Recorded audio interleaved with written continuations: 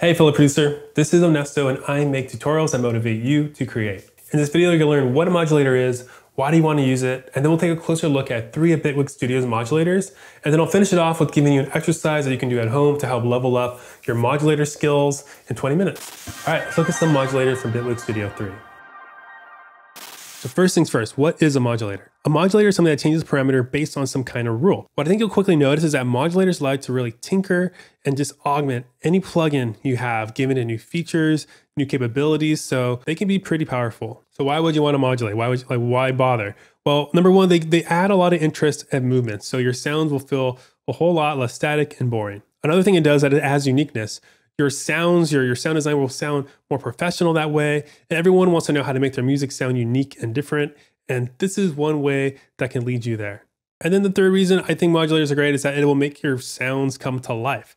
Since parameters will be morphing and changing your sound over time, the, the sound will just feel more alive. All right, so let's have some fun and get right to it. All right, before I get into uh, the modulators, let me just show you the loop that we're gonna be playing with.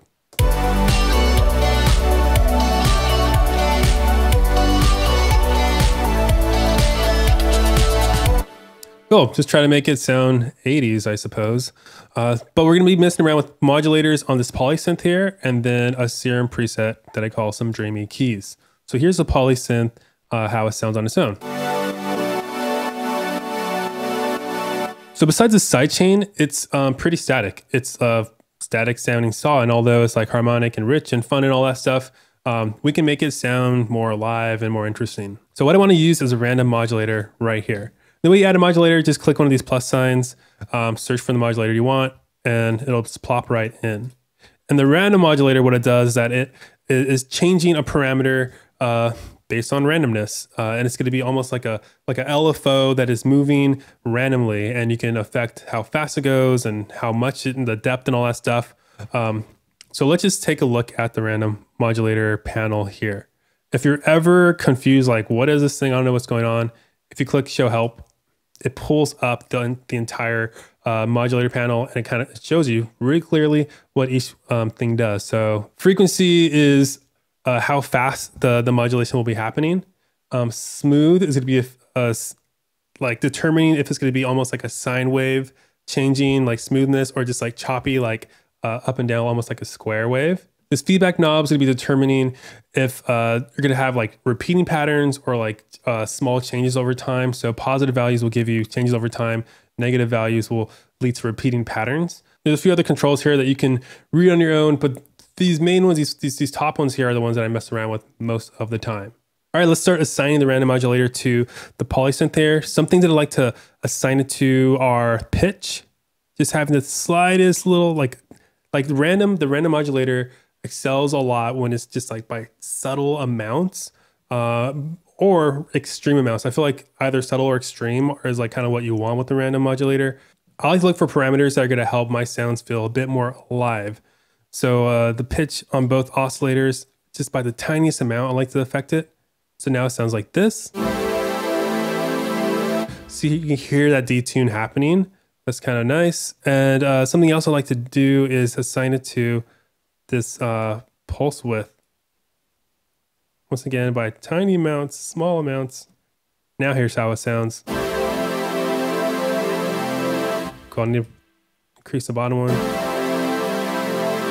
Cool. And you can see visually that the oscillators are, are changing shape, which is pretty cool. All right, I'm just gonna go for a few other things. I like messing around with unison, get some more detune. Here, I'll just play it on loop. Cool. So it's sounding a lot better. I'll just do a little before and after. So no random. With random.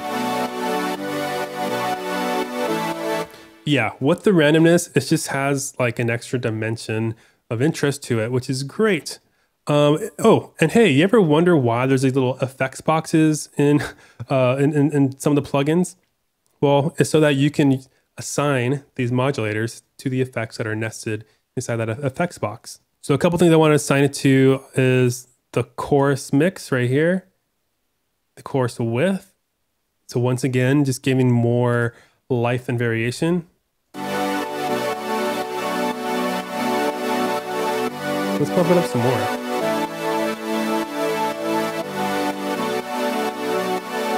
Yeah, so all of a sudden, um, a really static, stale sounding polysynth is sounding uh, much more interesting. In case I haven't really like described what these modulators are doing, so I click this little like arrow thingy. You can then drag up or down a knob, and that's going to be the amount that you drag it, signified by this like white line, is going to be showing you how far random is going to be adjusting it. So if I just have it by a little bit, then random is just going to be going back and forth, and random movements and increments and directions. If I have it pushed back a lot, it's going to be doing a whole lot more. Let's try to push random to extreme mode, like extreme settings, just to see what on earth this sounds like. Let's try this out.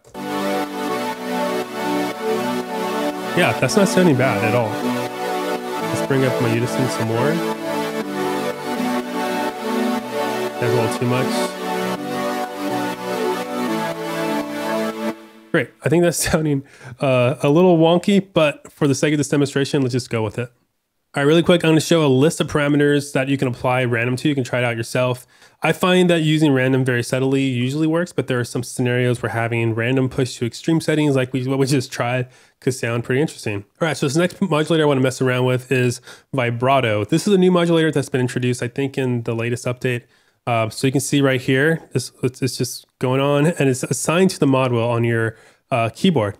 So as I push up, you can see that the dot is now going like more depth with that uh, LFO right there.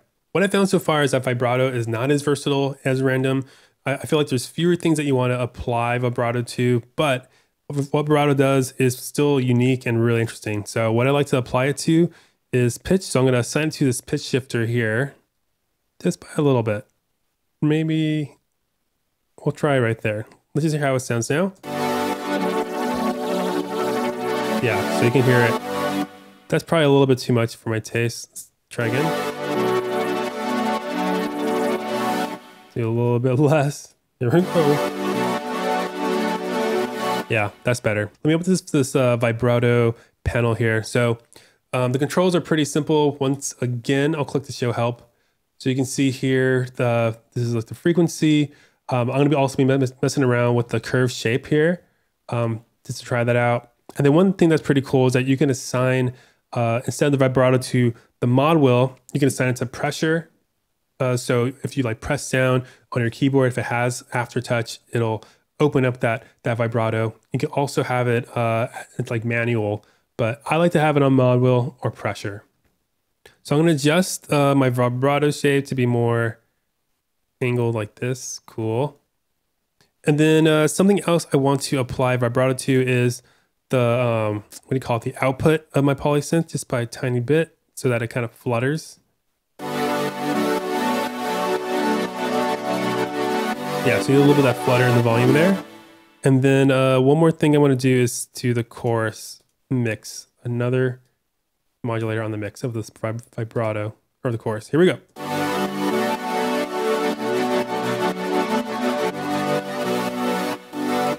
Great. So, man, like just these two modulators. We got some like funky stuff going on.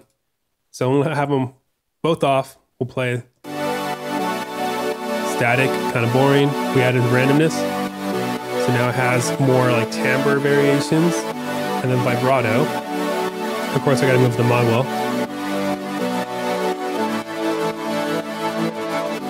So once again, here's a list of other parameters I think you can apply the vibrato to. Um, since vibrato can be attached to a mod wheel, it's a fun thing to use for buildups um, and for flourishes. I love using a vibrato modulator for that.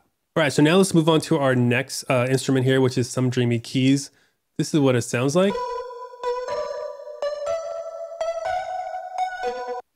And so far I have a random knob, uh, a random modulator already be, being uh, affecting a few parameters up here.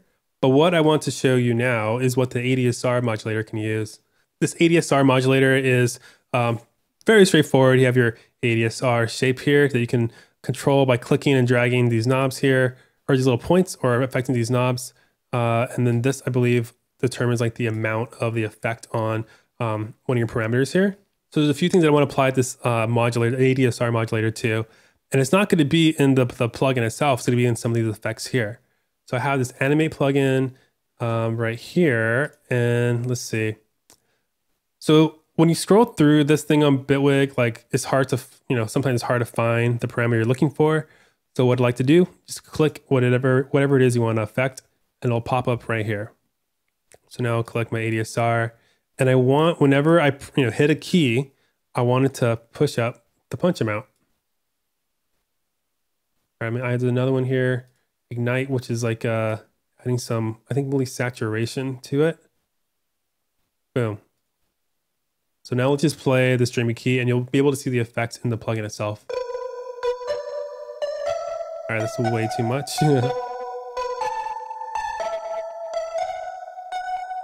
cool. So besides applying this ADSR modulator to like plug into stuff, one thing that you can do in Bitwig, which starts to get like crazy with possibilities, is that you can have modulators affecting other modulators. Whoa. But before I get into this last tip, um, would you please, uh, I, I want to know if you want me to make more videos about Bitwig's modulators. So if you can just hit the like button, um, that just communicates to me that I should make more of these kind of videos. And I have a question that I would love for you to answer. Uh, what are some parameters that you'd like to apply uh, modulators to? Because I still am learning about this. Um, so I want to learn from you. Just let me know in the comments. All right, let's show off how you can modulate modulators. So I'm going to have ADSR modulator affecting some of these parameters here in random. So now whenever I hit a key, it's going to make things feel more random or kind of have like a moment of extra craziness. So I'm going to click this and have it affect uh, the rate. I'm going to bring down the rate here. I'm going to have it also affect the smoothness, the, the feedback. I think that's good. All right, so now let's play the, the Dreamy Keys. So you can see how this like random LFO is going crazy now because of the ADSR. Cool, so having both these modulators, once again, just helps things feel a bit more interesting. It helps it feel more alive, and that's pretty cool. So before I talk about how to level up in 20 minutes, let's just play the whole loop and hear it all over again.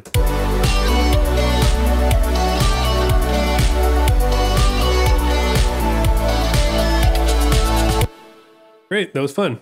If you made it this far in this video, thanks so much. But before I close this whole thing off, I want to give you an exercise that you can do at home to level up in 20 minutes. First, set a timer for 20 minutes. Um, and in these 20 minutes, your goal is to start becoming familiar with, with what modulators can do. But by the end of this 20 minutes, I really want you to be failing as hard as you can so you can see where those breaking points exist. This isn't a time to like play it safe. This is a time to experiment and go crazy, um, but also try to learn at the same time. So after you set that timer, open up one of Bitwig stock uh, synth devices, try out Polysynth or Polymer, since I think two are like the most straightforward to use. And then what you want to do is take one of the modulators that we talked about today and uh, apply that modulator to one to three different parameters. Now add on a stock Bitwig effect to the effect chain, uh, like reverb or distortion, just something that will add a new dimension to your sound. And once you do that, add on another modulator and then apply that to one of three parameters in the synth or to that new effect you put on, um, or even to the first modulator itself. Then add on another Bitwig stock effect and see what you can do with that. And then finally add on another modulator and see how many parameters you can apply it to until the sound sort of just collapse in on itself. So by the end of that 20 minutes, you should have uh, a taste of what modulators can do. And hopefully you're a little less confused by them. And instead you're uh, starting to get more excited about the possibilities of, of this really unique Bitwig feature. And remember, this is going to be one big giant experiment, meaning that you should be failing uh, a whole lot. So give yourself, you know, the time, the permission to experiment and fail. All right, that's a closer look at three modulators from Bitwig Studio. Hoping you walk away from this video feeling inspired and just ready to go, have fun and experiment. If you want to learn more about plugins or music production techniques, go ahead and click one of the videos here. And please consider subscribing so you'll never miss out on one of my weekly music production tutorials. Hope I can see you again in the future. Later.